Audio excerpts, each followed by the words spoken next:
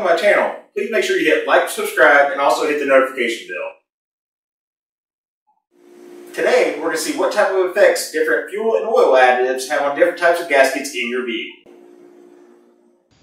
The fuel and oil additives that we'll be looking at today are Marvel Mystery Oil, STP Motor Treatment, Seafoam, Techron Concentrate Plus Complete Fuel System Cleaner, B12 Chemtool, Gumout Multi-Purpose Tune-Up, and regular 87 octane fuel. The types of gaskets that we'll be using for the test are fluoroelastomer, which can be found in fuel injector O-rings, silicone, which can be found on oil filter gaskets, as well as cork, which can be used for fuel pump gaskets as well as valve cover gaskets. Here you can see that I'm preparing each of the gaskets for the test. I already have 8 fuel injector O-rings, so I'm going to go and place one in each of the 8 containers. Next I'm going to cut the oil filter gasket into 8 equal sections and place one in each of the containers. And lastly, I'm going to cut 8 equal sections out of the cork gasket and place them in there as well. Alright, the gaskets are prepped. Let's go ahead and start the test. Just to clarify, the Marvel Mystery Oil, STP, Seafoam, and Gumout are all both fuel and oil additives, while the Techron and B12 are only for fuel. The container with the gasoline as well as the empty container are for control reasons only and are there for comparison later.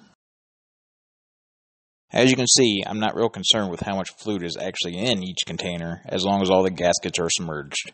Some of the things I'll be looking for while conducting the test are things like the gaskets breaking down, changing color, shape, or size. Basically, I'm wanting to see if there's any change at all compared to the gaskets that are just in gasoline or the gaskets that are not in any fluids at all. Throughout the test, we're going to check back twice.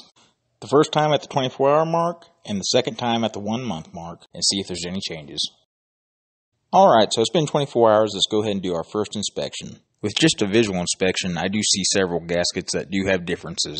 First, we're going to start up the Marvel Mystery Oil. Upon visual inspection, I did not see any differences, as well as the physical inspection. Everything seemed to be the same, everything was solid. Went on to the STP, and everything seemed the same as well. Nothing visually or physically different. Finally, when I got to the Seafoam, I did notice a difference. It looks like some of the ink off of one of the gaskets was actually floating inside the Seafoam. Right here I'm going to show you where the blue ink came from. It appears it came off this gasket and it was floating in the Seafoam.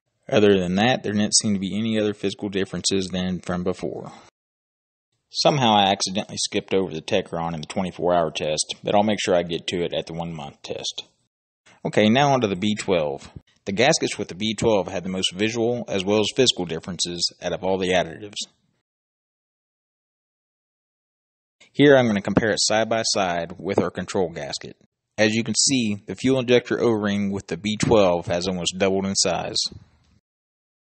I'm also going to compare it to the oil filter gasket.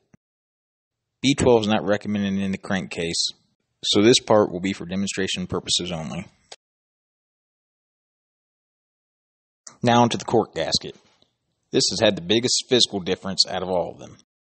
The gasket actually split in two, Remember, B12 is recommended to be put into the gas tank, which in some vehicles you can find cork gaskets on the fuel pump. Finally onto the Gumout, there do not appear to be any visual or physical changes. The gaskets with the 87 octane fuel didn't have any changes as well. So what did you think about the 24 hour test? Did you see anything you wasn't expecting? Was there something you was expecting that you didn't see? Let me know down in the comments. To see the video for the one month test, make sure that you like and subscribe as well as hit the notification bell. It will be coming out soon.